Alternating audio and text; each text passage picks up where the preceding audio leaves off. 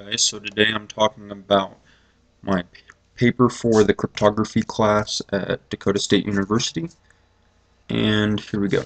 So my paper is about how to anonymize yourself on the internet. So we're going to be looking at uh, stuff like Freenet or Tor. So and they both work on the same way where if you're the node down here we'll call you N and you want to send data to an illegal website for your author authoritative country, we'll call it K. Then instead of going through N, let me select a different color here, we're going to go through some intermediate nodes, I1, I2, and I3, just to make it simple and by the time it gets here your country only controls this black section.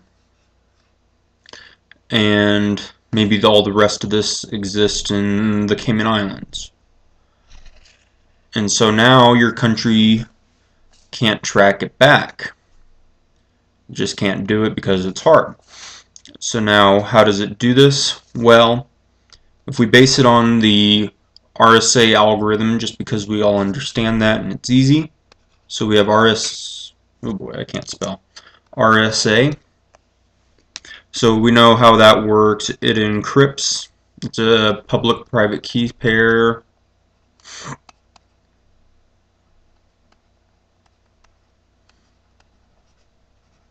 And so if you're N and you want to send data to I1, we're going to take our packet Z, so packet Z, and we're going to put it through the RSA algorithm, and out we're going to get the encrypted Z. And then so if I1 wants to send it to the next phase, maybe it takes E of Z, and now we have E of E of Z, and now we can keep doing this. And if there was only one node path they could trace it pretty much back. Hey someone's looking at this. Let's trace it back. So really what these do is you have a ton of these. So we'll just put some dots there. I2 I3 IN and they all do this all the way out. So I4 in plus 1 and then at the end they might all go to different websites. K so then this encryption is where it really starts building up. And you know if I was just encrypting it and wrapping it I would have um, n encryptions but no one would be able to unread it or unlock it. So there's a couple possible ways to do this.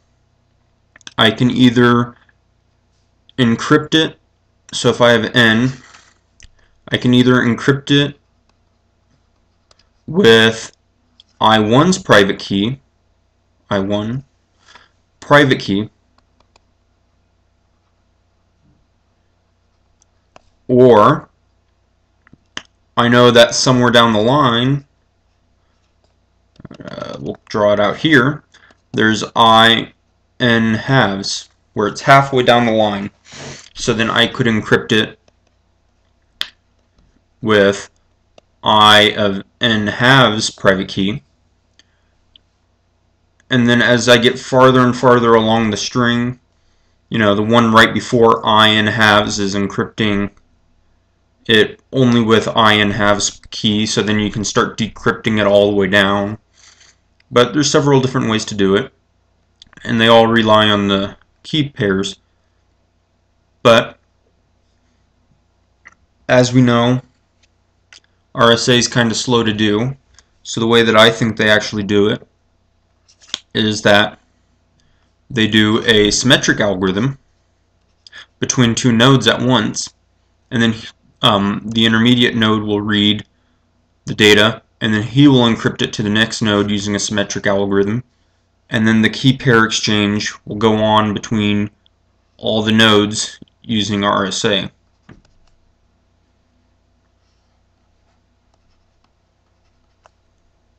Um, we'll call this DES just because it's simple three-letter word.